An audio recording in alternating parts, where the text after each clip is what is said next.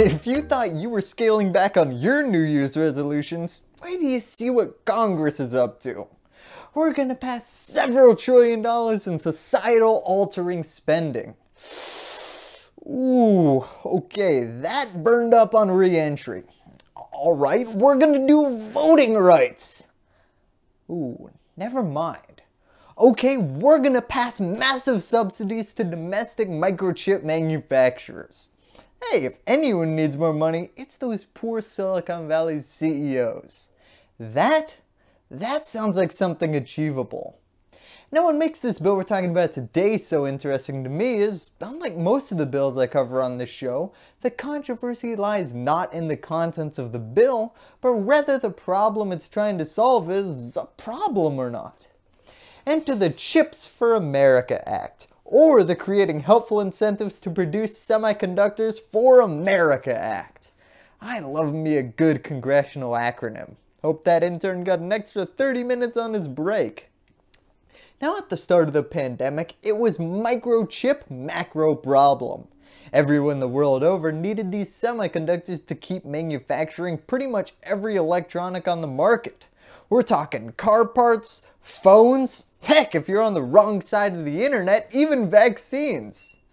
Interesting time for a chip shortage, coincidence? No, I'm kidding. Problem was, orders for these semiconductors were being cancelled left, right, and center.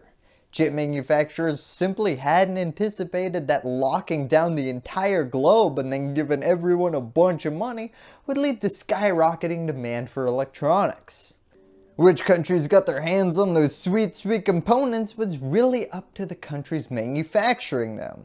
Now, unfortunately for us, and I say us as an American, that country was not America. Enter Taiwan, the manufacturer of 90% of the world's advanced microchips. Now, because of their near monopoly on microchips, every nation at the beginning of last year was full lobbying efforts ago to ensure that their manufacturing sectors got the microchips that they needed to stay afloat. Now, of course, it was easy enough for America to secure our share of the dwindling supply.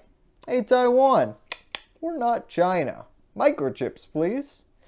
For other countries though, well, things were a bit more complicated. This microchip shortage continues to this day, which is one of the reasons why new cars and PS5s continue to be treated like they're rarer than gold. Now in the aftermath of these realizations, China grabbed the steering wheel of their planned economy and said, we're going all in on semiconductor manufacturing. Doesn't matter the cost, we as the government are going to pay for it. Here's a five-year plan, at the end of which China as a country will be semiconductor independent. We'll be making enough for us to manufacture everything we make. America, on the other hand, we tried to take the planned economy approach, but ended up with more of a yes and improvised economy approach. We're gonna cut taxes a bit for people who make semiconductors, Yes, and uh, fund certain research projects. Yes, and uh, put together a committee. I like the sound of that. It sounds so official. Back in June, the Senate passed a bill that would put $250 billion towards the funding and development of a domestic microchip manufacturing industry to compete with China putting up the force of their entire government to make their own domestic chip manufacturing industry. Now, let me reiterate that date one more time. Back in June, as in seven months ago, this was passed in the Senate. Wow, this must be urgent if it passed the Senate with that 50-50 party split and got more than 60 votes. Now that bill was then sent to the House of Representatives for passage, where it just kinda sat on Nancy Pelosi's back burner up until a few days ago. Yes, a few days ago, the House passed this $250 billion microchip planned economy bill. So now it's a done deal, right? Off to the president for his signature.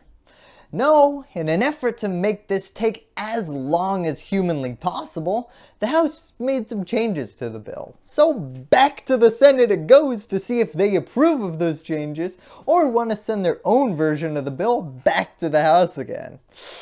Oh yeah, this is the entity I want planning my economy. Who knows, maybe by 2050 they will be able to fund a program that can compete with Netscape. Now, the two questions we're all asking today are, will this bill be able to garner the same Republican support it did back in June and pass the Senate a second time? And second, should it? Now the tricky thing for conservatives with this bill is that it pits their two instincts against each other. The free market and national security.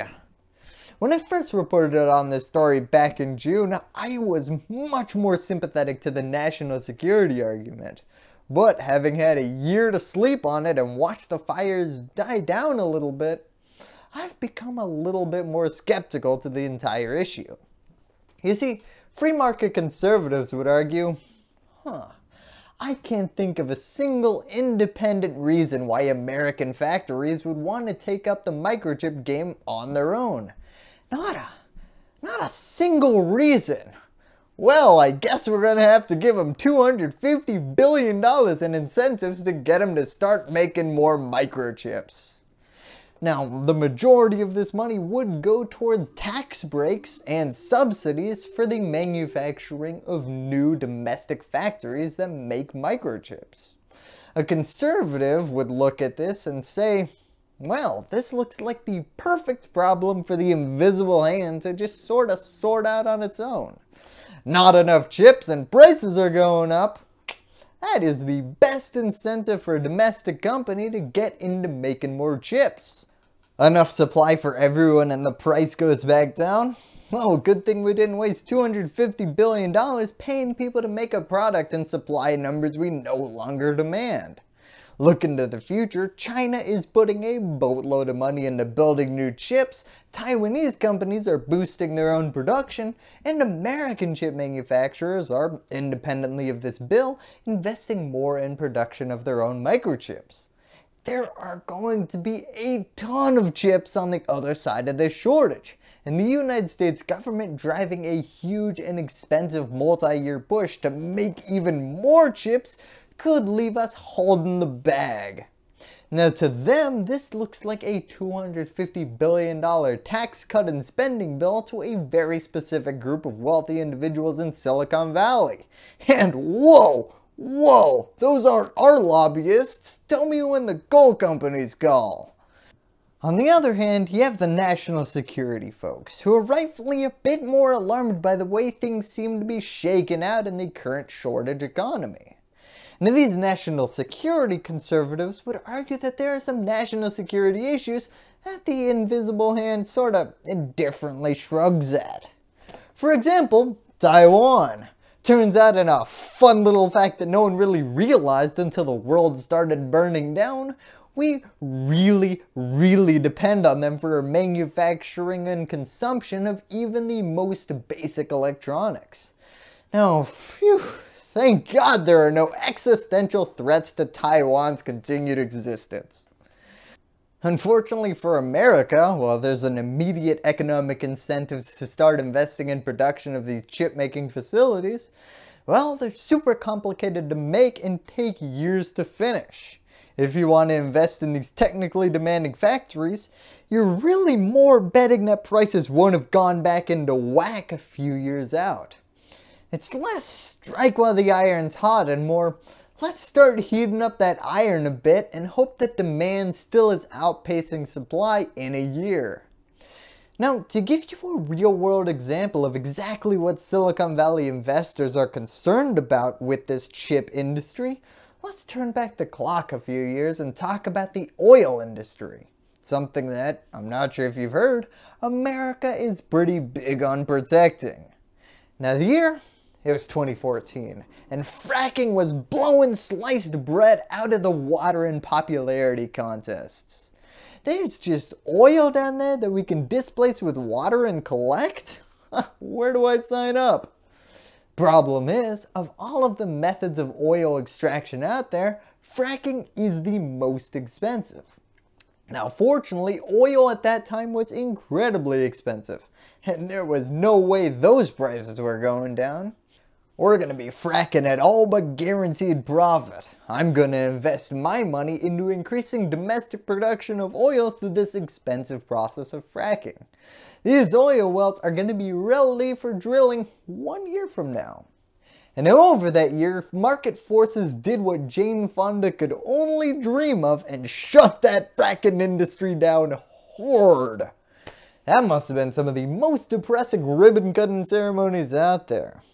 Well, if we start actually running these wells, we're going to be selling oil at a loss. But if we don't pump the oil, we won't be able to make payments on the loans. Frack me.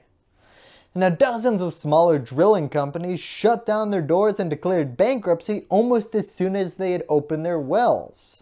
What the Creating Helpful Incentives to Produce Semiconductors for America Act aims to do is assuage industry fears of a market downturn or return to normal prices by making it harder to wind up producing chips at a loss. Hey guys, prices go down? That's fine. We're cutting your costs through tax cuts and raising your ability to make a profit by paying you through subsidies. Now the broader concern amongst politicians is, as long as there's a belief that cheap chips will be coming out of Taiwan a year from now, well, it's not really going to make business sense to start investing in domestic manufacturing, unless you got a really cheap idea to make the same chips.